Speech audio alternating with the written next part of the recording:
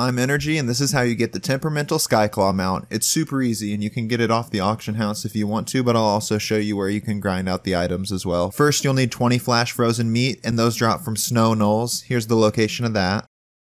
Next, you'll need 20 Gnolan's House Special, and if you don't get them off the auction house, they're over by an inn, and this is the location, and they drop from the Gnolls here too. Lastly, you'll need 20 Tuskarr Jerky, which drops from the Forest Gnolls in this location over here. After you get all of those, go to Zon'Wogi, which is over at this location, and basically all you need to do is talk to him, and he'll give you a new mount. Congrats on your new mount, and drop a like if it was helpful. I'll see you in the next one.